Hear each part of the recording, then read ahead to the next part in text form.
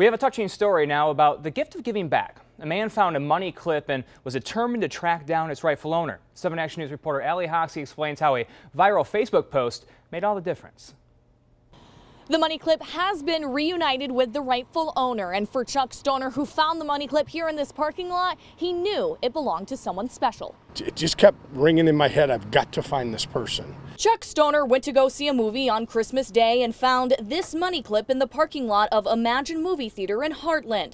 The clip a little nicer than most, reading United States Coast Guard. I knew it was a veteran, and that, I think that's what's been resonating more than anything over those three days was I got to get back. This has got to get back to that person. Stoner made a Facebook post on Friday asking people to help find the owner of the clip.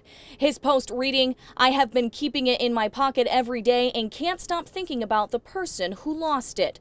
Turns out that person is none other than Scott Reynolds.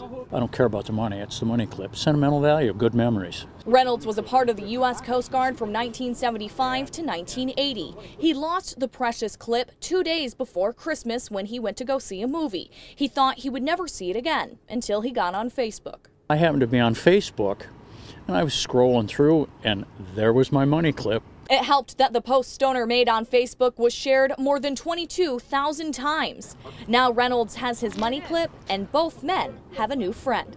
That's what life is about, is making new friends.